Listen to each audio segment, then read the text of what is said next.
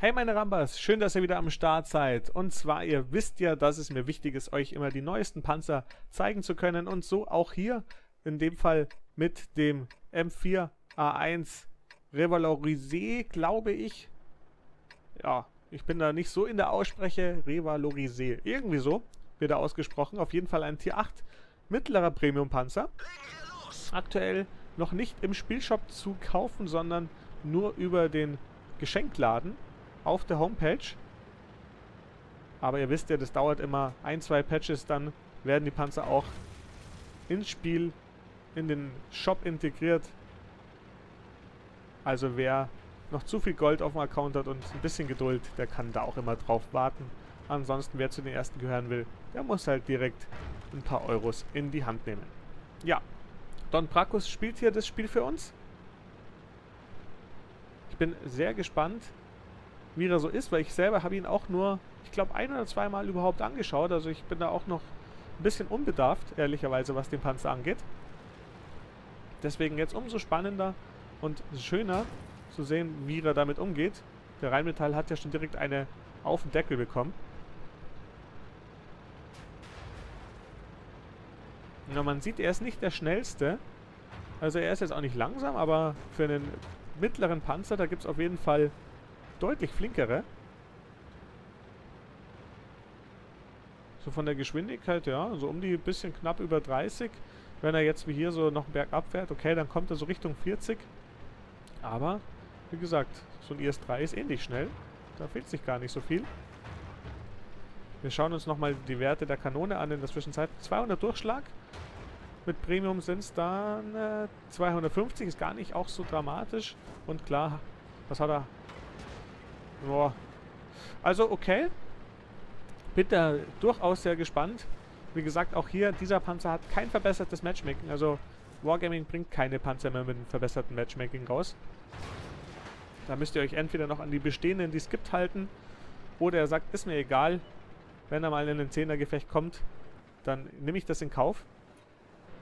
Ansonsten für ein reines 8er und auch mit dem 9er kommt man mit 200 Durchschlag schon zurecht. Aber ein 10er wird dann, dann doch schon unangenehmer. 479 Schaden. Das ist natürlich schon eine schöne Kelle für einen mittleren Panzer. Das muss man auch ganz klar sagen. Schöner Roll. So, jetzt fahrt eben der... Was ist denn das überhaupt? Der ST immer ins Blickfeld. Hier jetzt nicht vorne auf die Frontplatte gekommen, sondern ein bisschen auf die Laufräder gezielt. Deswegen gerade kein Damage. Oh, was macht er denn da? Der war kurios, warum er da so rausfährt, wenn der IS kommt. Der war unnötig. Richtschütze auch gleich rausgenommen worden. Also wie gesagt, der IS ist da super schön auf ihn zugefahren. Prallt hier auch nochmal ab.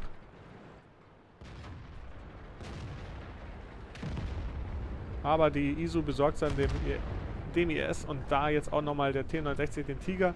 Und jetzt oben hat er noch ein bisschen was an Gegnern. Typ 59.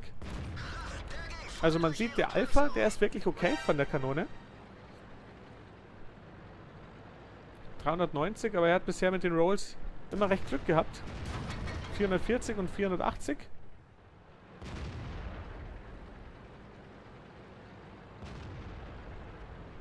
Aber Panzerung ist natürlich wieder reduziert. Klar, er ist sehr, sehr schräg. Das heißt, da so ein bisschen eine Reg Regulierung, sag ich mal. Aber jetzt auch nicht so, dass man sagt, man hat hier ein Panzerungswunder. Da hat so ein Type oder so schon Vorteile.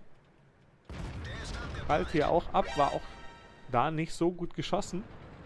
Don Prakos glaube ich auch nicht das erste Replay, der hat das schon das ein oder andere Mal was geschickt. Aber es ist so wie bei jedem Panzer auch, man muss sich erstmal einspielen. Und dadurch, dass es den Panzer noch nicht so lange gibt, wird er auch noch nicht so unendlich viele Gefechte drauf gemacht haben. Der Type hat gerade nicht zu ihm hergeschaut. Na, ist zu kurz.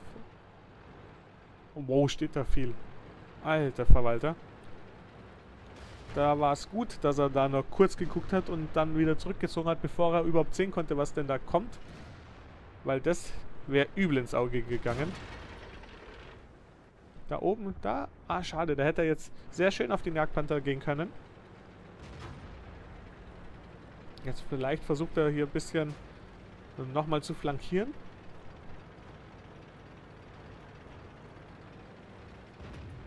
Nein, achten gerade nicht auf ihn, das könnte gut ausgehen. Ja, hier auf den Rheinmetall auch nochmal 420 Schaden, also der macht dann schon was. So, der Type hat jetzt hier verschossen. Und mit 200 Durchschlag, da kann man auch einen, Type einfach mal so auf die Frontplatte drauf schießen. One-Shot noch. Dann würde er ihn wegmachen. Ja, der war gut. Der war sehr fein. Und auch wichtig. Jetzt kommt dann da aber noch ein E75 nach. Und ein E75, der teilt natürlich unglaublich aus. Das weiß er auch, deswegen nimmt er den jetzt hier gleich mal einmal mit dem Hit. Jetzt schießt der E75 auf ihn. Und jetzt hoffentlich lädt er schneller nach, dann macht er ihn weg, weil sonst hätte er ein Problem. Ja, genau richtig. Macht er auch so. Hat jetzt aber auch trotzdem nur noch 182 HP. Ist nicht mehr wahnsinnig viel, aber hier haben sie auch kaum mehr Gegner. Der erste da oben, genau.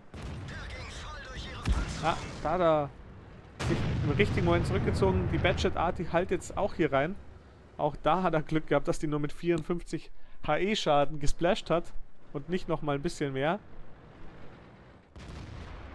Aber auch Glück hat dazu.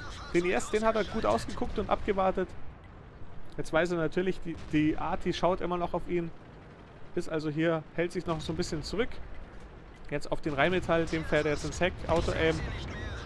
Und dann nimmt er den raus. Arti hält auch nochmal rein, aber diesmal nicht mal mehr den Splash. Aber man sieht jetzt, er hat alles, es ist alles heil. Er hat äh, keinen Fahrer, keinen Kommandanten und alles andere ist heil. Aber bis er im Berg hochkommt, das ist schon sehr zäh. Ich weiß auch natürlich nicht, was für eine Crew er drauf hat, aber ich unterstelle einfach mal, dass auf einem mittleren Panzer der Franzosen, der, der auch recht in Ordnung ist. Also von dem her, wie gesagt, ein Wendigkeitsmonster ist er mal nicht. Da ist die Arti. Da hätte er schon lang schießen können. Ja genau, stehen bleiben, einaimen. Ja, das weiß ich nicht, ob der getroffen hat. Könnte, könnte aber auch nicht. Ne, hat wohl nicht getroffen. Jetzt aber. Ja. Jetzt trifft er endlich. Und was hat er noch? Einen Bruder im Geiste. Entschuldigung. Das ist gut. Solange er nicht hier aufgeht. Er ist nämlich außerhalb der Throwing Range. Das heißt, er kann hier schießen, ohne dass er aufgeht. Kann er jetzt eigentlich ausnutzen. Ein bisschen Hasenschießen machen. Der Gegner kann hier nichts dagegen machen. Muss hier sozusagen zuschauen und warten, bis die Schüsse von ihm kommen. Ah, der ging... Da ist er ganz knapp noch nach hinten übergekippt. Hat jetzt halt auch noch einen Busch vor sich, den er da super nutzen kann.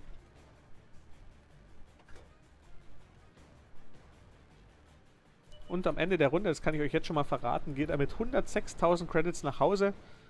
Also mit Premium-Account natürlich. Aber das ist doch eine ordentliche Credit-Ausbeute. Gut, man muss auch natürlich sagen, 5000 Schaden ist auch nicht wenig. Tiger 1 hier. Da will er auf den Helm schießen. Der Schuss ging aber ein bisschen nach unten. Hat er leider nicht durchschlagen. Ich würde weiter auf den Tiger gehen. Ja, genau. Na, der Tiger ist da natürlich auch jetzt gerade da nicht so leicht. Und er ist halt ein One-Shot, deswegen ist er hier ein bisschen passiver. Was auch nachvollziehbar ist. Hier auf den Deckel kein Durchschlag.